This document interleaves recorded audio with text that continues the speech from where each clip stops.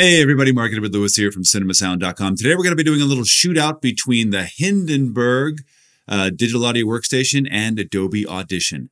Now, admittedly, Hindenburg is really designed for podcasting, so some of its features and functionality are going to be reduced, whereas Audition really is a full function, full feature digital audio workstation.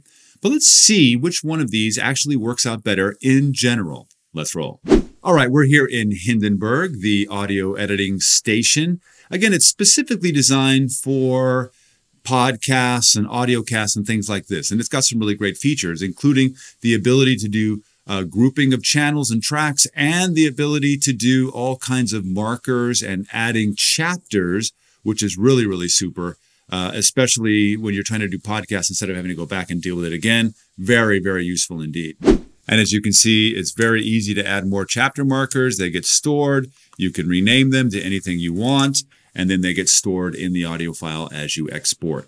Audition does the very same thing, only in a much more robust way. And as we talk about in the Adobe Learn, which is built into Audition, uh, you can actually do length-wise, duration-oriented markers to help you deal with breaths and cutting out all kinds of things like that. So, what are some of the things that diverge between Hindenburg and Audition?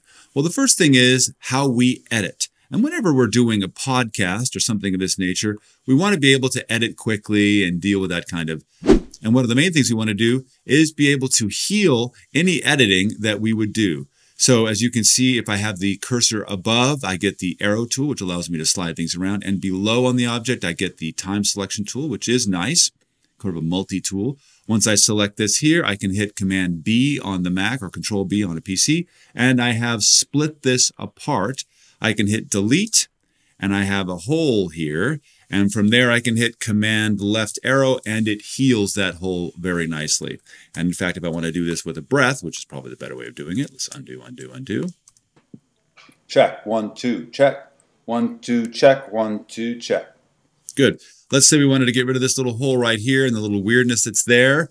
We do this, again, Command B, we hit delete and left arrow and it's healed. Check, one, two, check, one, two, check, one, two, check. Real seamless like, we like that. We'll do this, we'll kill this, and we'll open with just the voice itself. Check, one, two, check, one, two, check, one, two, check. Nice. But the issue with this is I had to add an extra keystroke in order to do this delete and heal. And you're like, well, it's a keystroke. It doesn't really matter. Well, it does matter if we're doing hundreds, if not thousands of these edits every time we have to do any kind of production. What we would ideally want to be able to do is delete and have everything healed and have the ability to do that and not to do that. But here we have to do an extra command. We have to hit delete well, of course, we have to select, delete, and then use a command. And also it becomes a little bit cumbersome when we're needing to do that generally anywhere else. If there is a, a healing here uh, that needs to be happened that didn't occur from a direct edit, we can hit command left and nothing really happens except moving by frame. We actually have to double click. We actually have to select the space manually like so, and then heal that way. And it does, as you can see here, it didn't quite get it. So it's a little bit cumbersome to do and not anywhere near as facile as we can do it in Adobe Audition. Now, one of the most important things that we need to deal with is how do we make our sound better? And in Hindenburg, they have track-based effects, which we love that idea, as opposed to burning in your effects into the clips themselves, which is awful. In this case, we have six slots that are available to us, but the problem is the plugins that come with Hindenburg are really, really quite simpleton, as opposed to the parametric EQ that comes with Audition. Here's another one here with their built-in compressor, which basically is just, you know, a knob. Same with their denoise and noise reduction, just basically a knob. Very, very little functionality if you needed any kind of uh, specificity or customization. And also, you only have six slots, whereas Audition has 16 slots as a, a, pretty far cry in terms of functionality between the two programs there. And lastly, the thing that really hurts is this is all you get. You don't get a mixer to be able to do automation and move things like this. This is kind of it and hope that your compressor and keyframing is good enough.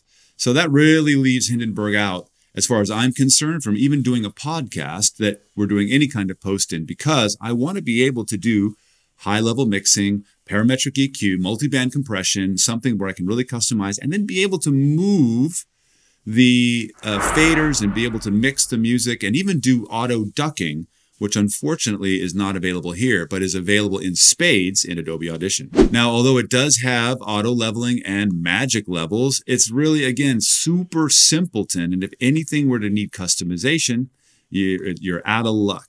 And we can look at all kinds of things like different waveforms and zoom factors and all these kinds of things like this.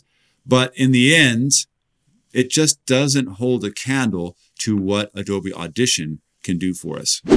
So as you can see, Hindenburg is indeed a reduced version of a digital audio workstation, specifically for um, podcasts and you know audio casts, things like this. But even still, it's missing some pretty serious functionality that I know I would want to have if I were doing a podcast, specifically around mixing, integration, ducking, these kinds of things that are just really not available to us in the same way that they're available in Adobe Audition.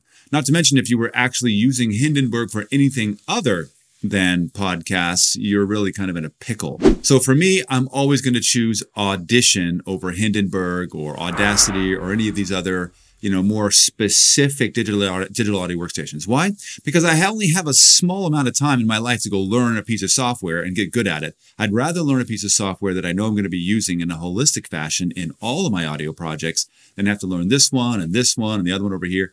I don't want to do that. I just want to learn one. And Audition is what I would do for a general scope uh, of getting my audio edited in general productions. Hopefully this video has been helpful to you. If so, please subscribe to us here on the channel and come visit us at cinemasound.com where we have hundreds, if not thousands of articles and videos to help you get that unfair competitive advantage in the Hollywood marketplace and the multimedia marketplace, that same advantage that Hollywood uses to get their powerful audio immersion. I want to make sure that you all have it. Until then, we'll see you in post.